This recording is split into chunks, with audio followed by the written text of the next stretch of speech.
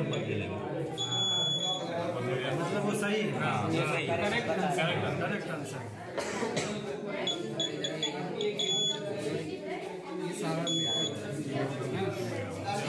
है लगी ना इसमें जल जाएगा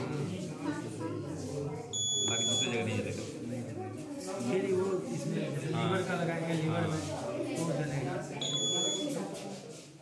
तो बेसिक ये है कि एक यहाँ से ये वायर जुड़ा हुआ है तो नीचे में।